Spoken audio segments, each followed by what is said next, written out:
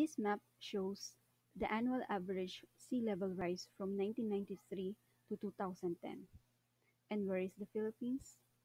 It's actually here in a region where a very high rise of sea level was observed. Zooming in, we can see that Davao City, residential areas, coastal zones, is mostly under sea level and will be surely affected by future sea level rise, projected sea level rise.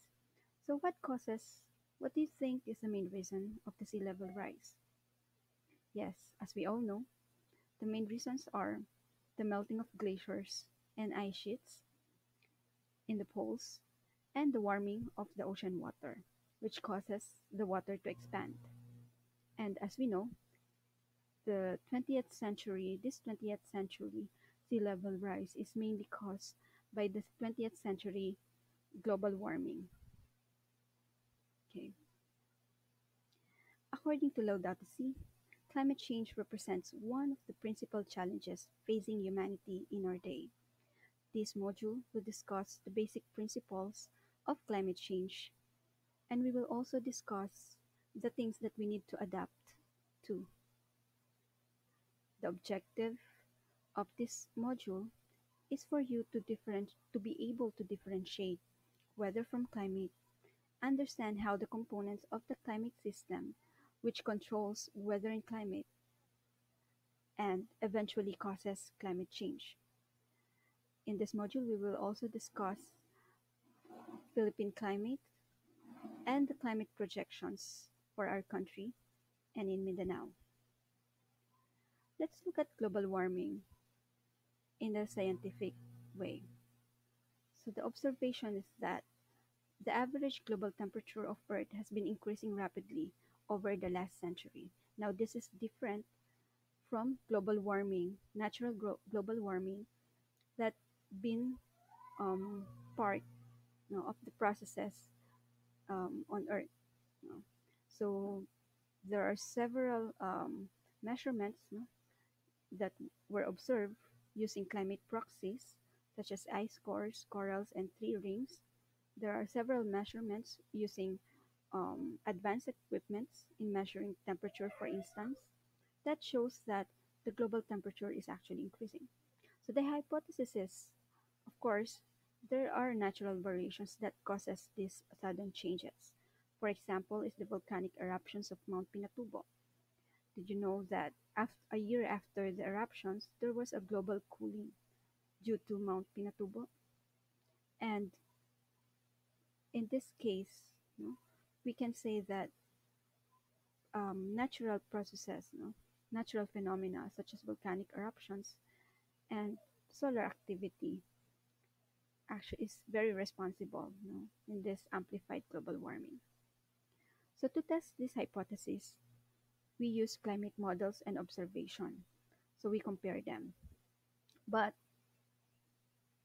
we found that at the um, from 1980s onward, no, or maybe 1970s onward, the rise in temperature cannot be explained by natural causes. So this is the model output for natural causes of global warming.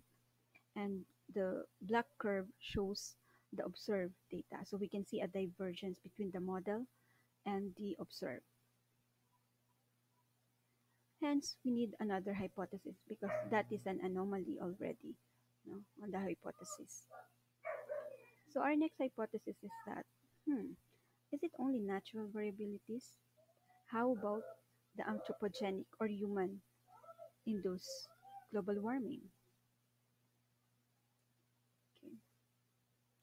So this um, this is actually uh, a graph of the observed temperature increase no from the early, after the industrial revolution. And we can see that the average temperature has been increasing since then okay? And this is unprecedented as compared to prehistoric changes in global temperature. So we need another hypothesis?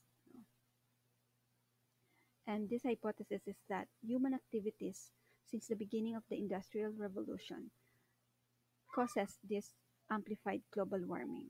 And as we can see, the red curve is actually the model output, which considers the natural variabilities and the human induced variabilities. So, our new hypothesis now is that natural variations as well as human induced changes are responsible for this amplified global warming. And this hypothesis is still undergoing paradigm shift. There are still many skeptics um, uh, arguments no, that can actually uh, disprove this hypothesis. But as of now, these human induced changes have been supported by many um, experts you know, around the globe by several studies, experiments, you know, and modeling around the globe.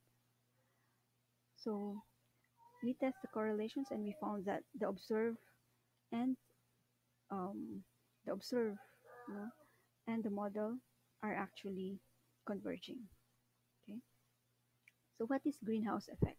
Again, it's actually a naturally um, natural process, no, where naturally occurring gases such as carbon dioxide, methane, and other greenhouse gas or trace gases can actually trap or absorb enough heat no, to sustain life. So it, it's a natural processes and we need it to sustain life on Earth.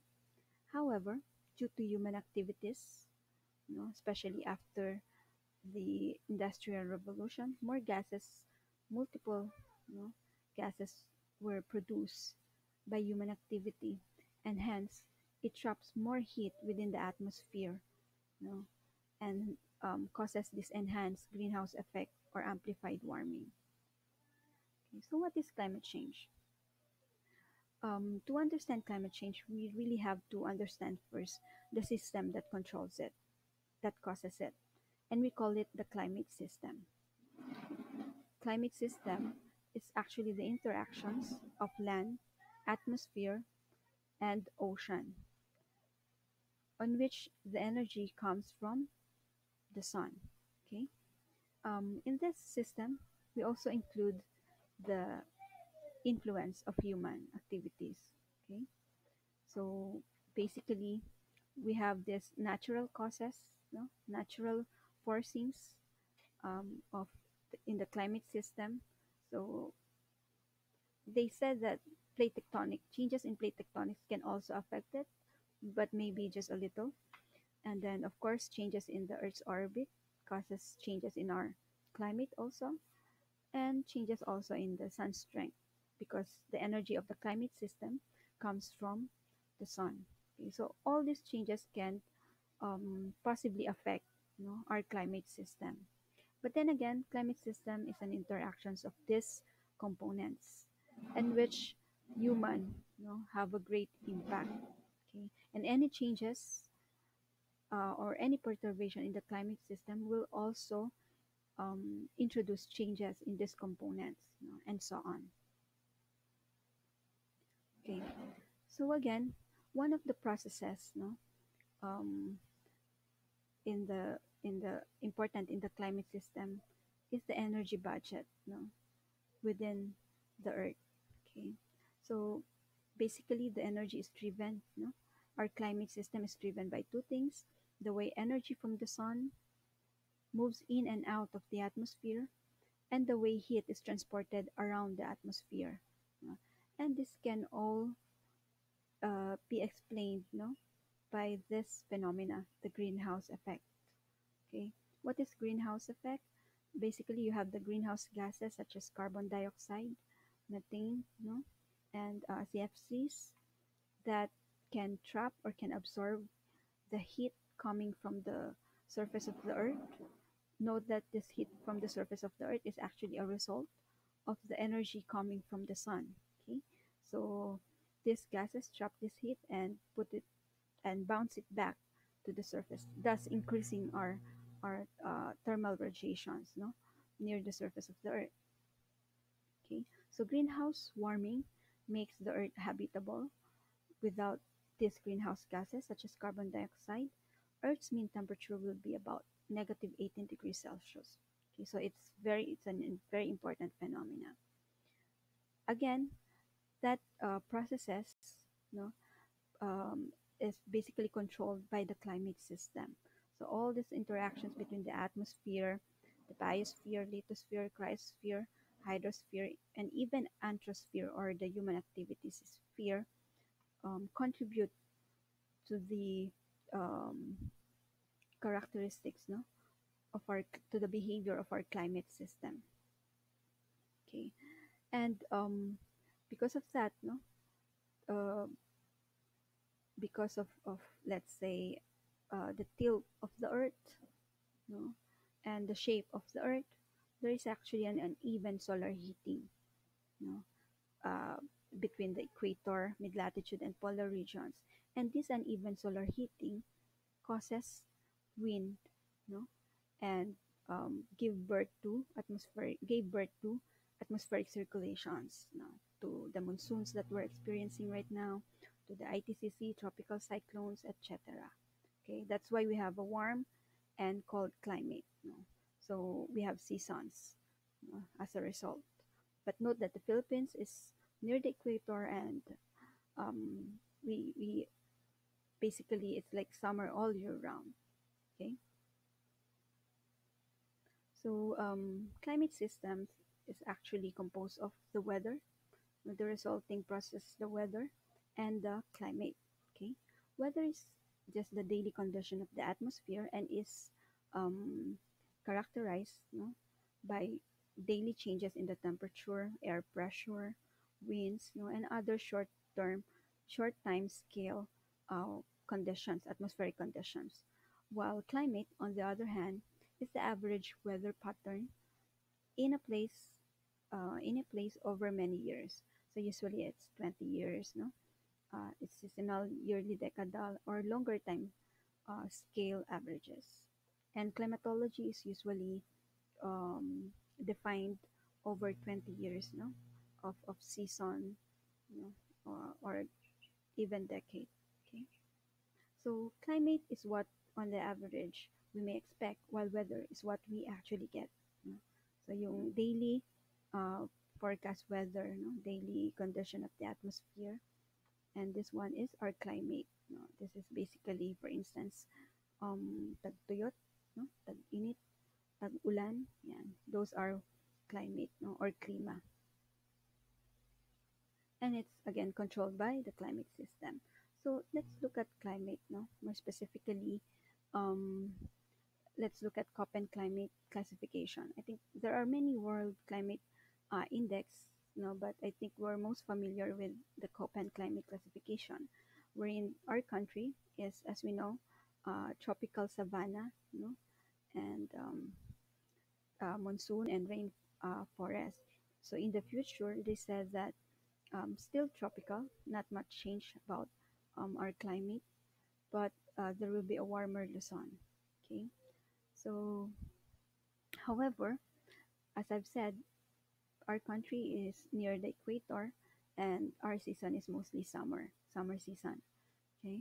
Um, but our climatology is actually um, controlled by our rainfall climatology.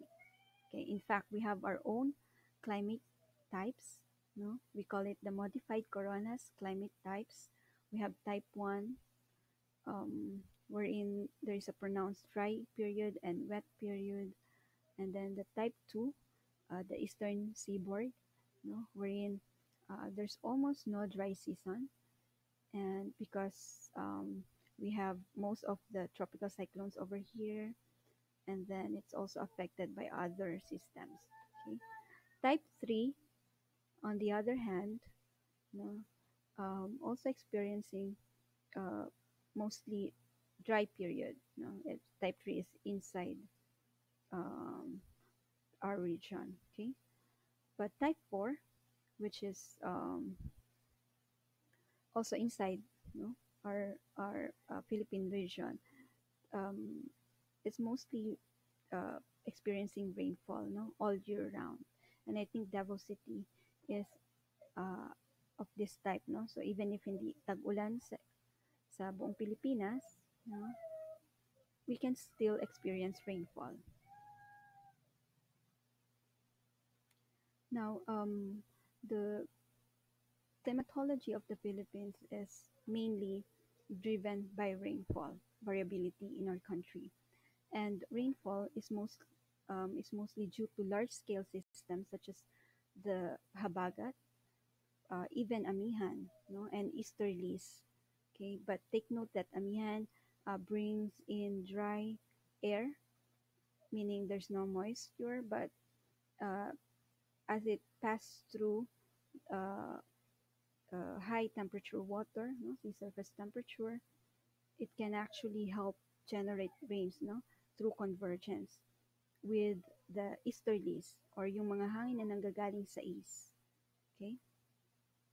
So, of course, tropical cyclones no, is one of the main um, ingredients of our rainfall climatology. Okay? And also the intertropical convergence zone. No, this is um, actually dancing um, around the equator. Okay, and most of the time Mindanao is affected by ITZZ. Um, others, of course, are climate variability such as El Nino and La Nina, and other systems. No? Uh, in specifically for our region, we have this local system such as thunderstorm, okay, um, coastal coastal systems such as sea breeze and ocean breeze uh, that can cause rainfall around this area. Okay, uh, for instance, southwest monsoon, no, uh, this comes from our south and uh, from west.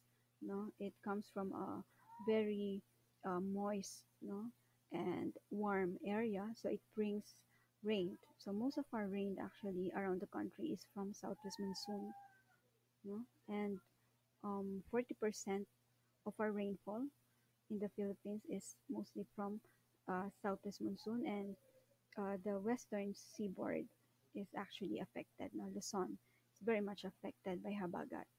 Okay, and uh, for Mindanao, um, especially in our areas, maybe around 10% to 20% only comes from southwest monsoon.